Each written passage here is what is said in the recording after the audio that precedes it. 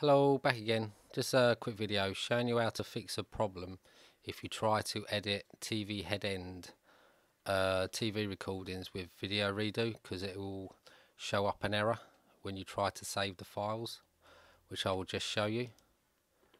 So if I start VideoReDo and I will open a file. There are hairy bikers.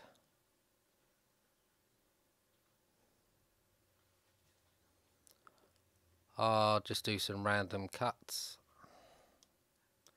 In the cut there, there, couple more.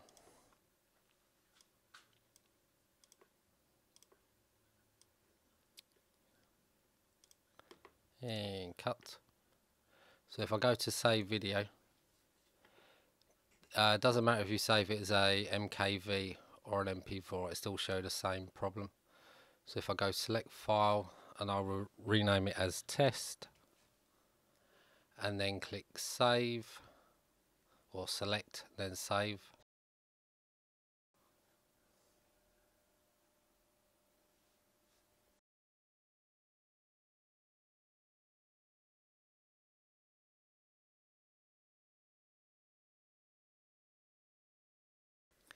as you can see we've got an error come up and it won't save the file. So I'm just going to click abort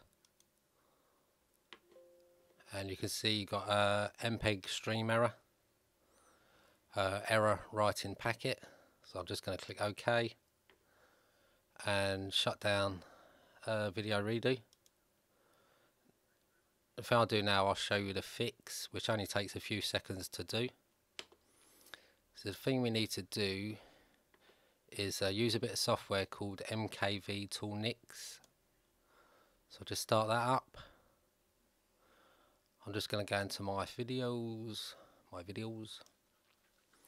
That's a test file which didn't complete. So I'm going to open up the original, just drag it into the top. And there's the different parts of the video. The thing that is causing the problem is the DVB subs as far as I can tell.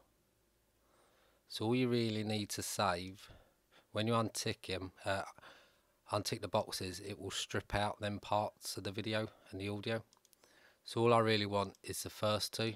First one's the video, second one's the audio. So that's all done. And then ju I'm just going to click start multiplexing it will automatically rename it. It's just put a, a 1 in brackets for me so I know which file it is. Just click start multiplexing. Only takes a few seconds to do. I'm doing this in uh, real time. And that's all done. I can now close that down. So now we've got our second file. So let me open up VideoReDo again and just drop in the file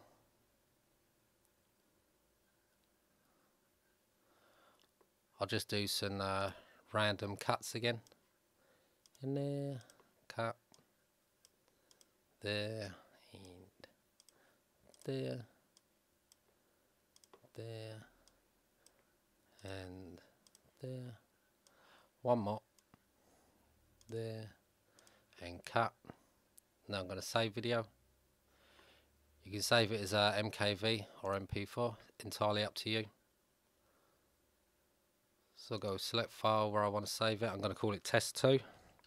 Test2. Then click save. Or cl click select, then save.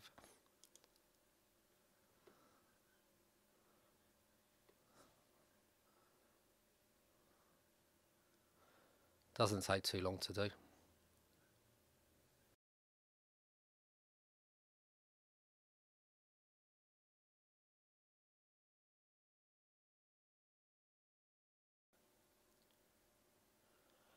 And uh, that's the file finished and as you can see it's completed. Plus there aren't any errors. So I'll just close that or OK it. Close VideoReDo. And there's our file. So uh, as always uh, I hope this video has helped and uh, goodbye